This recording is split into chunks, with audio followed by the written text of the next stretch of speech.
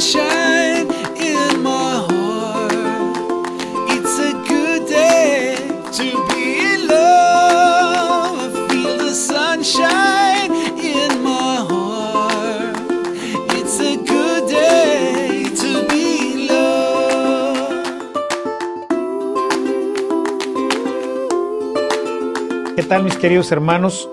Me da mucho gusto estar con ustedes y ahora quisiera en esta serie de videos dirigirme a ustedes los jóvenes.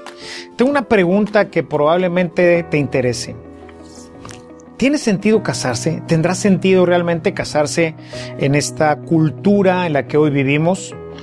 Yo veo que hoy muchos jóvenes pues ya ni siquiera se casan, ¿verdad? Ni por el civil ni por nada. Simplemente se van a vivir juntos y luego se aburren y luego pues cambian de pareja.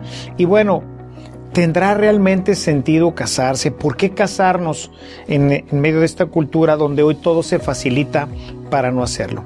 Bueno, yo quisiera durante estos próximos videos hablarte un poquito de por qué es importante casarse, porque es algo que pues ha hecho el ser humano durante toda la vida. A diferencia de todos los demás mamíferos y de prácticamente todos los demás animales, el único que permanece unido durante toda la vida es el ser humano. Ha de tener alguna razón para hacerlo. Y esta razón tiene que ver básicamente con el aspecto afectivo que los animales no tienen ellos tienen una especie de afectividad que tiene que ver más que nada con su instinto. Ellos más bien se aparean con el fin de reproducirse. Nosotros los humanos buscamos no juntarnos para aparearnos, sino para formar una familia, para permanecer. Es algo que está inscrito en el corazón del ser humano. Por eso a lo largo de generaciones y generaciones y generaciones, aún los más antiguos grabados, que probablemente algunos pues dicen que pudieran ser de hace 30 mil años, ¿verdad?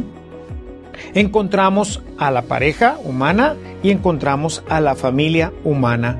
O sea, el casamiento no es una cuestión religiosa, es una cuestión humana, que puede después darle una visión religiosa las diferentes religiones y entonces entraríamos a un tema diferente, ¿no? Pero ¿por qué nos casamos? Pues nos casamos porque el ser humano está hecho, ¿verdad? Así está concebido por Dios para compartir su vida.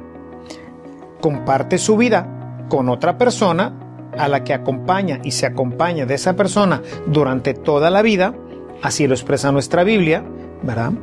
Ya no serán dos, sino una sola cosa, y caminarán unidos toda la vida. Dejará el hombre a su padre y a su madre, y se unirá a su mujer, y serán los dos una sola cosa. Es de las referencias más antiguas que no pertenecen directamente al catolicismo ni al cristianismo en sí mismo, porque como te digo, esta idea está plasmada en el corazón del hombre muchísimos, muchísimos años antes. Si tomas en cuenta que este texto del Génesis probablemente fue escrito o reescrito alrededor del año 2000 antes de Cristo y que probablemente proviene de la cultura sumeria, pues te darás cuenta de que esto es una situación totalmente antigua, es algo que pertenece a la esencia del ser humano porque el ser humano se une a otra persona para formar una familia. Se une para compartir y para compartirse, para dar y para darse. Y en ese darse, los dos, el hombre y la mujer, dan vida, comparten su vida con otras personas. Y esa sería pues una de las razones fundamentales que pues subyace en la antropología de por qué los seres humanos nos casamos, nos unimos de una forma plena y perfecta a otra persona a la cual acompañamos durante toda la vida y la otra persona me acompaña durante toda la vida porque se va dando una complementariedad. Yo la complemento a ella y ella me complementa a mí. Si el sacerdote en la religión católica no se casa, no quiere decir que no necesite esa complementariedad.